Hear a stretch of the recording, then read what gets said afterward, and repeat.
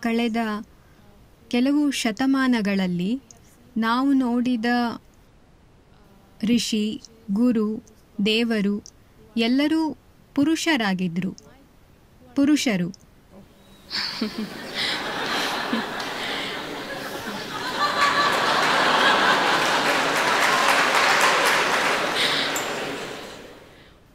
ಈ ಸ್ಥಾನಗಳಲ್ಲಿ ಸ್ತ್ರೀಯರನ್ನ ಯಾಕೆ ಹೆಚ್ಚು ನೋಡಲ್ಲ? ಈ ದೇಶದಲ್ಲಿ ದೇವಿಯರಿಗೆ ಯಾವುದೇ ಕೊರತೆ ಇಲ್ಲ. ದೇವರಿಗಿಂತ ದೇವಿಯರೇ ಹೆಚ್ಚಿರೋದು. ಸರಿನಾ? ನೀವು ದಕ್ಷಿಣ ಭಾರತದಲ್ಲಿ ಹಳ್ಳಿಯಿಂದ ಹಳ್ಳಿಗೆ ಹೋದರೆ ಪ್ರತಿ ಹಳ್ಳಿಗೂ ಒಬ್ಬ ದೇವಿ ಇರ್ತಾಳೆ. ಪ್ರತಿ ಹಳ್ಳಿಗೂ ಬೇರೆ ದೇವಿ ಇರ್ತಾಳೆ, ಆದರೆ ಪ್ರತಿ ಹಳ್ಳಿಗೂ ಬೇರೆ ದೇವರಿಲ್ಲ. ಅಂದರೆ ಸಂಖ್ಯೆಯಲ್ಲಿ ದೇವರಿಗಿಂತ ದೇವಿಯರೇ ಹೆಚ್ಚಿದ್ದಾರೆ. ಹಾಗಾಗಿ ನಿಮ್ಮ ಮಾಹಿತಿ ತಪ್ಪು.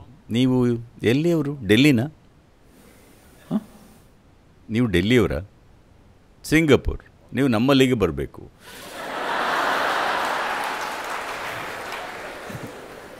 ಸಾಕಷ್ಟು ದೇವಿಯರು. ಎಲ್ಲ ಥರದ ಅಮ್ಮನವರು. ಇನ್ನು ಸಾಧು ಸಂತರು. ಹಿಂದೆಲ್ಲ ಅನೇಕ ಸ್ತ್ರೀಯರಿದ್ದರು. ಈಗ ಈಗ ಅವರು ಸಣ್ಣವರಿದ್ದಾಗಿನಿಂದ ಬ್ಯೂಟಿ ಕ್ವೀನ್ ಆಗೋಕೆ ನೋಡ್ತಿರೋದ್ರಿಂದ ಇತರ ತರಬೇತಿಗಳನ್ನು ಕಳ್ಕೊಳ್ತಿದ್ದಾರೆ.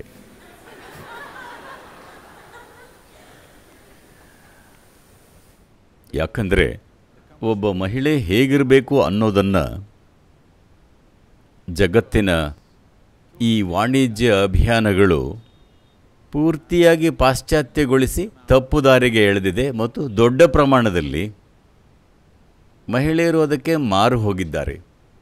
ಸಾಕಷ್ಟು ಜನರು ಐವತ್ತು ದಾಟಿದ ಮೇಲೆ ಬ್ಯೂಟಿ ಕ್ವೀನ್ ಆಗೋಕ್ಕಾಗೋಲ್ಲ ಅಂದಮೇಲೆ ಈ ಕಡೆ ತಿರುಗುತ್ತಾರೆ.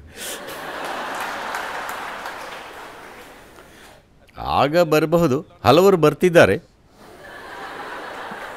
ಆದರೆ ಯುವ ಸ್ತ್ರೀಯರು ನಮ್ಮೊಂದಿಗಿದ್ದಾರೆ. ಅವರು ಚೆನ್ನಾಗಿ ತೊಡಗಿಕೊಂಡಿದ್ದಾರೆ.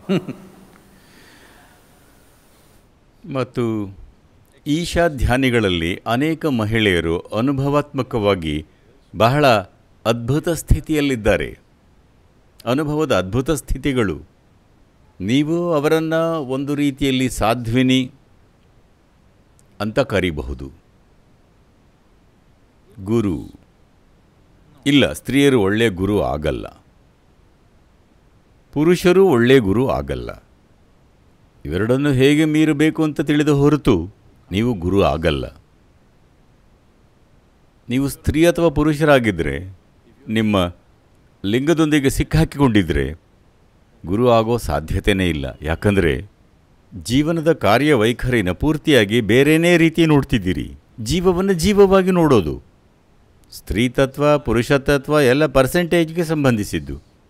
ಒಂದೆರಡು ಅಂಗಗಳನ್ನು ಹೊರತುಪಡಿಸಿದರೆ ಸ್ತ್ರೀಗೆ ಇರೋ ಅಂಗಗಳಿಗೆ ಪುರುಷರಿಗೂ ಇರೋದು, ಅಲ್ವಾ? ಹೌದಾ ಅಲ್ವಾ? ಅಂದರೆ ವ್ಯತ್ಯಾಸ ತುಂಬ ಸಣ್ಣದು. ಸಂತಾನೋತ್ಪತ್ತಿಯ ಅಂಗಾಂಗಗಳಿಗೆ ಅತಿಯಾದ ಗಮನ ಕೊಟ್ಟಿದ್ದೀರಿ. ನಿಮ್ಮ ತಲೆಯಲ್ಲಿ ಅದು ದೊಡ್ಡ ವಿಷಯವಾಗಿದೆ. ನೀವು ಬರೀ ಜೀವಕ್ಕೆ ಗಮನ ನೀಡಿದರೆ ಸಂತಾನೋತ್ಪತ್ತಿಯ ಅಂಗಗಳಿಗೆ ಅಷ್ಟೊಂದು ಗಮನ ನೀಡಲ್ಲ, ಅಲ್ವಾ? ಗುರುತಿಸಿಕೊಳ್ಳಲೇಬೇಕಂದ್ರೆ ದೇಹದ ಭಾಗಗಳೊಂದಿಗೆ ಗುರುತಿಸಿಕೊಳ್ಳೋದು ಒಳ್ಳೆಯದಲ್ಲ, ಅಲ್ವಾ? ಯಾವಾಗ ನೋಡಿದರೂ ನಾನೊಬ್ಬ ಗಂಡಸು, ನಾನೊಬ್ಬ ಹೆಂಗಸು ಅಂದರೆ ದೇಹದ ಭಾಗಗಳೊಂದಿಗೆ ಗುರುತಿಸಿಕೊಳ್ತಿದ್ದೀರಿ, ಅಲ್ವಾ? ದೇಹದ ಭಾಗಗಳೊಂದಿಗೆ ಗುರುತಿಸಿಕೊಳ್ಳಲೇಬೇಕು ಅಂದರೆ ನನ್ನ ಸಲಹೆ ಕೊನೆ ಪಕ್ಷ ಮೆದುಳನ್ನು ತಗೊಳ್ಳಿ. ನಿಮ್ಮನ್ನು ಸ್ತ್ರೀ ಪುರುಷರಾಗಿಸೋ ಅಂಗಗಳನ್ನಲ್ಲ. So women will not make good gurus men cannot do at all ಹಾಗಾಗಿ ಸ್ತ್ರೀ ಒಳ್ಳೆ ಗುರು ಆಗಲ್ಲ. ಪುರುಷರಿಗೆ ಆಗೋದೇ ಇಲ್ಲ. ಆ ಕ್ಷೇತ್ರನ ಬಿಡಿ.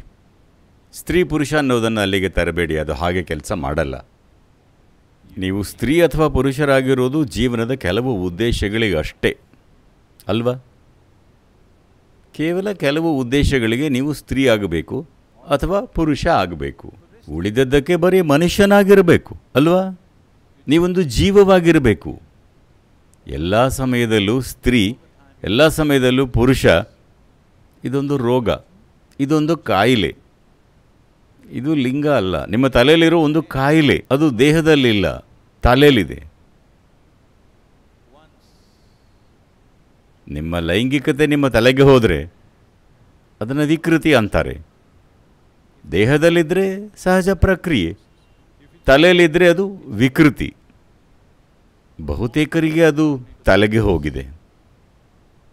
ಗುರುವಿಗೆ ಯಾವ ರೀತಿಯ ಅಂಗಗಳಿವೆ ಅನ್ನೋದರಿಂದ ಏನಾಗಬೇಕು? ಅವರು ನೆರವಾಗುತ್ತಿದ್ದಾರಾ ಇಲ್ವಾ? ಅಷ್ಟೇ ಪ್ರಶ್ನೆ ಅಲ್ವಾ? ಹೌದು ತಾನೆ.